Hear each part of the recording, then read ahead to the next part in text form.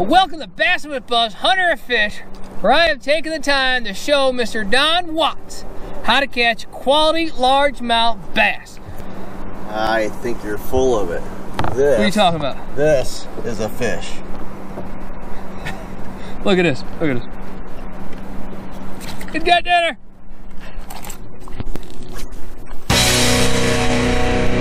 There, buddy. No, That's not you there? that's not me. Nope. Oh, shoot. Oh no, holy cow, man. Holy smokes. Oh my gosh.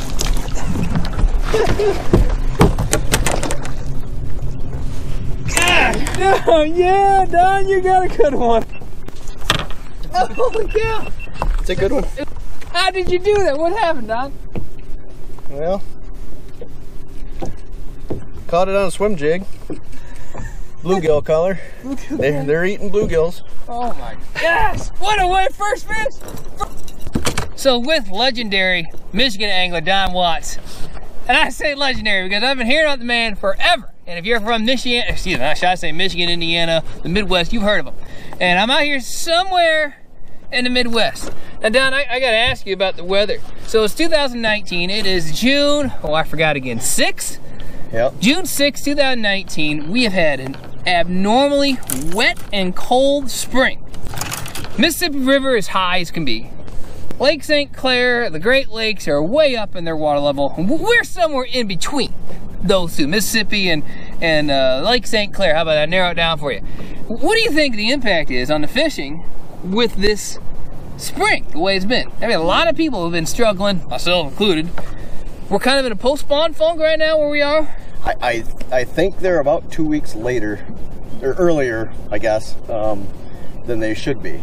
So, you know, I, I, the water temperature hasn't come up to where it should be Yeah. um, this time of year. 65 degrees where we are right now. Yep, and it should be closer to 70 by now. So, and that's just from the last week that we've Yeah. had that warmer weather. So, um, it, it, it's definitely behind. Every, everything's behind. So, So you think essentially uh, things are the same, it's just later? right. Yeah, I think you know this the way things are right now is normally before season starts here in Michigan, Memorial Weekend. Yeah. Um, couple more weeks, then then it'll be back to normal. Is my my guess. So we're lar- largely post-spawn fish, Yep. which is why you're right before, or right at that. Yeah. They might still be spawning too. I mean, the way the way the temperature is. So. Yeah, yeah. Just this past weekend, I know there were some spawning fish Yep. on this lake. So post-spawn, which really plays in your favor with this jerk bait thing. Yep. Not a bad fish. Yeah, if you ever want to see how to jerk bait fish effectively, kind of unorthodox but deadly, tune in because you're about to see the show of a life that's going to change your life. When they're eating it, they grab that front hook. Yep. So You always put a red one on there. not always, but I'm not really a. I, I'm not. I don't truly believe in the red hook, but it doesn't hurt. So um, if it does give you one more bite or two during the day, why not? You know.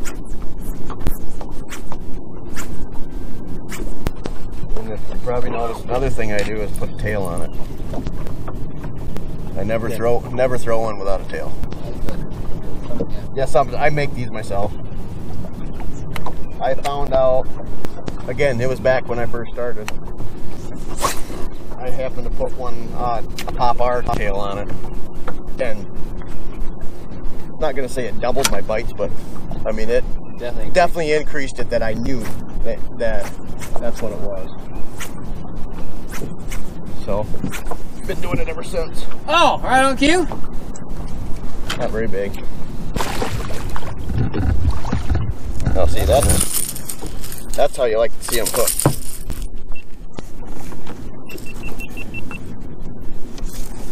Front hook, Yeah. and then the other one's buried in. Yeah. A two pounder. Yeah. Yeah, the biggest thing is everybody everybody thinks it wears you out.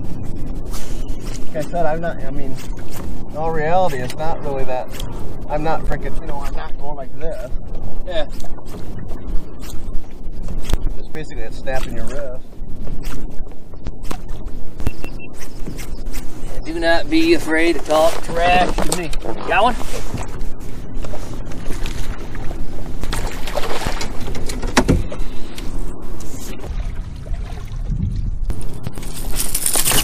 Hey, that jerk bait of yours done. I'm done. I've been hearing for years about how you fish a jerk bait. Countless people ask me, have you ever seen Don throw a jerk bait? The truth is, no. Not until today. Now that I've been able to watch you, I concur, ladies and gentlemen. It's unorthodox. It is. So, I see you're using braided line, looks like? Yep. Is that, you got braid line there? Yeah, Fireline. Fire line, okay. What? I guess I want to ask You you, wanna hear the story? how did you, yeah, let me hear the story. I told this at all my seminars because it gives you a background of, of why I decided to do it. Um, back when I was younger, it was in the late 90s. We were out fishing on the lake I lived on with my dad and pulled out a Smithwick jerkbait and very first cast caught one. Yes, And then, that's a good way to start. Yep. And then nothing after that. So, a couple weeks later, I was fishing a tournament with a friend on the lake, and uh, we weren't catching anything. So I pulled that jerkbait out. First cast, I caught one, and then I proceeded to catch a nice limit. And I had a great big one on and broke my line, lost it. And I don't, back then, I, you know, fluorocarbon really wasn't anything, so it was monofilament of some sort. got him. So it was one of the first years that Fireline came out. I'm like, I'm gonna try that. So, and on that monofilament, you would miss a lot of fish, or you'd hook them and they'd come right off, you know, because of the stretch. So I tried the Fireline, and I bet my hookups doubled instantly. Now that retrieve, Yeah, it's something I've learned. I mean, just well, developed over the years. looks like you just got angry and decided Yeah. I'm going to beat the snot out of it for a And while. the thing is, I'm not. I mean, I'm really not doing. It looks like I'm doing it hard, but I'm just. If you watch, I just snap my wrist. It's not. and there's a lot of slack in your line actually Yeah. every time you do it. Yep. And basically, when I when I do it, as soon as that bait hits, I let basically let go, and the rod comes back.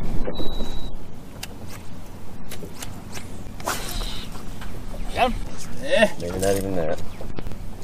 Small keeper. Oh, It's gotta yeah, have- special jerk right there. Yeah, it's got to have. It's got to have the bill back from the nose. Because uh, most of the jerk baits nowadays have the. It's basically the jerk or the. The ring is hooked to the the bill. And with those, they're basically they make their own action, and I'm given this action. So, with the other ones, they always spin around and hook themselves when I'm doing this. So I can't use really anything else. A husky jerk will work, but they're lighter. So you are a Smithwick Rogue guy. That's Yes, and this is a special order. They discontinued this years ago, and uh, Al and Bob Sports ordered like three thousand of them, and so. I And you a got little 2,999 Uh, I of didn't get that many, but I've got a few. Got him. Tail hook. There you go. A chunky monkey. Yep. Then the next question I get is why Firelines? Well, I've tried. I'm sure there's something out there that'll work just as good. But I've tried a lot of different braids. The, the problem with braids is they're limp. Yeah.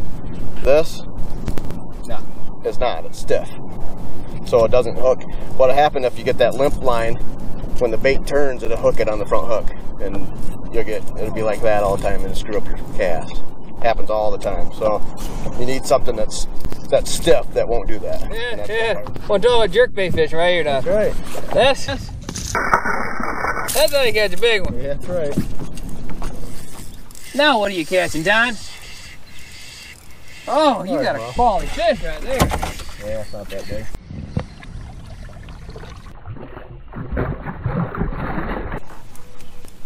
That's all right. little swim bait. Yeah. Man, oh man. jerk bait, swim bait, swim jig. What aren't you gonna catch him on? Well, I'm on eight pound test line, so we, they all feel big. Right. But I, I don't think he's shabby. And this is a monkey punch fish here. Yeah, we'll let Don catch the big ones. I'll catch the two pounders. There he is, yeah. So you can see, got that monkey punch right where you want it. All right, Mr. Watts. Mind if I join you for a moment, you Don? All right. See, that's how you hunter fish style right here. Yeah, maybe I got a shoot you. Oh yeah, look at that son of a gun. There. Ah! Come here. Yeah, that monkey punch or the XBT Formula G3. Catching on everything today. Can't seem to put down that stupid tube. Caught this morning. Oh yeah, you leave me with a pound and a half.